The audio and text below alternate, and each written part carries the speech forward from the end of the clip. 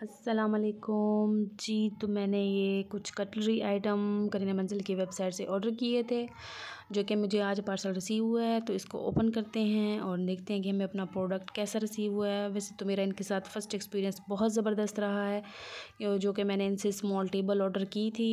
और वो three tables का सेट था और ज़बरदस्त पैकेजिंग में रिसीव हुए मुझे, उनकी क्वालिटी टॉप नॉच थी और अब भी उनकी वेबसाइट पे ऑफ़र चल रही है। अगर आप टू थाउज़ेंड से अबव शॉपिंग करते हैं तो ये आपको फ्री डिलीवरी प्रोवाइड करते हैं। इसके अलावा ये आपको सरप्राइज़ गिफ्ट भी भेजते हैं अपने पार्सल के अंदर। तो चलें ओपन करते हैं कि देखते हैं कि हमें ये सर्विंग सेट कैसे रिसीव हुआ है।